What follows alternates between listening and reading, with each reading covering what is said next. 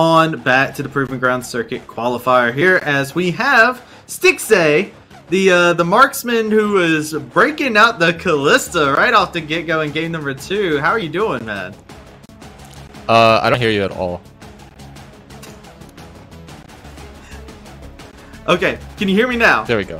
Yeah, yeah, I can hear you now. Okay, there it is.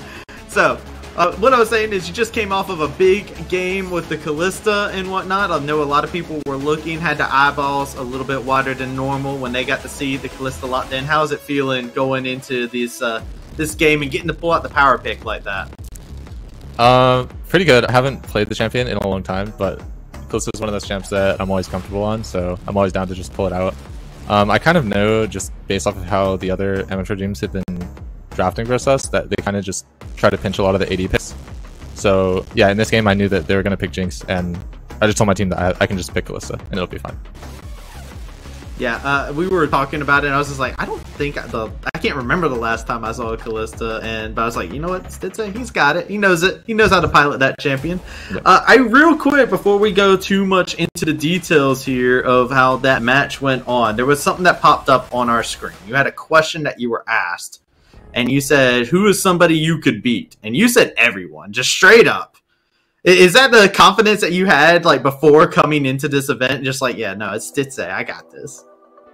Yeah, of course. Uh, I mean, I, I think I'm always a player like that, where I just feel like going into any match, any tournament, I can always win uh, if I just play my best, right? I think like at, at a peak level, I can always I can always beat anyone. I, I think that's a good mindset to have too. I love it. I love the confidence. Absolutely on that. And you were starting up as the the coach for this squad, so you've had to come in, play the AD carry role. How has it been adjusting to going from being a player to a coach, and now you're back into playing, especially since you're playing in like three different leagues now?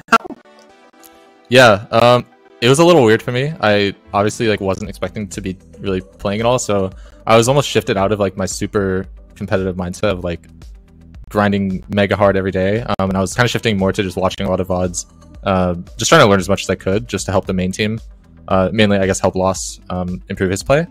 And then I was given the opportunity to not only play lock-in, but play uh, this amateur tournament and like the beginning of academy stuff just due to some visa issues that we had. So I just figured like, you know, why not? Like what's the downside? I'll, I'll take it and see, see what I can do with it. And yeah, so far it's been really fun. I think um, I played with a couple of the guys last year too. So nothing too new for me, but yeah, I think we're progressing really fast. Yeah, and I think the results say just that. After some big carry performances from you inside this series, what do you feel like the future goal is for Golden Guardians? Is there any team out there that you're particularly looking forward to facing? Yeah, I think the obvious one is the 100 Thieves next team. Um, they were the only team we lost to, I want to say, um, in I guess in the best of one series. So yeah, we're definitely looking to beat them. I, I think it's pretty clear that it's probably going to be us versus them in the finals. And yeah, I, I, think we have a really good shot. I think we should have won our game versus them as well. Get the run back. I, let's get it going. That's what I like to see. That being said, before we end up sending it back over to our desk, Stixxay, do you have anything to say to any Stixxay fans out there or anybody who's cheering on Golden Guardians Academy as you guys have been playing an insane amount of games in the past bit?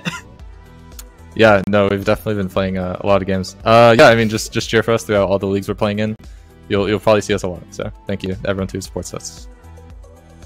All right. Well, thank you is garnered. With that being said, thank you, Stixxay, for coming in here for the interview. We're going to go ahead and send it on back over to the desk to